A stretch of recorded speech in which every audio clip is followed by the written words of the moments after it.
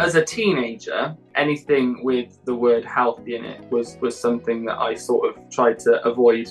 That's sort of when I started putting on quite a bit of weight. Really bad ankle break, uh, broke my ankle, broke my leg, playing rugby. Consultant said, you never play rugby again. It was the one thing that I could say, oh, do you know what, I am good at this. And then obviously to have that taken away was, was a massive sort of kick in the teeth. That's when it started sort of, you know, I put on all the weight and got to the point where obviously I was at 23 stone. Confidence was at an all-time low. And I think as, as the weight increased, I got a lot less confident. I was never happy in clothes. Like clothes shopping was the worst thing on the planet. You know, you see a picture of this up and I'd be like, God, like, not, you know, not a good look. I didn't really see a way out of it at the time.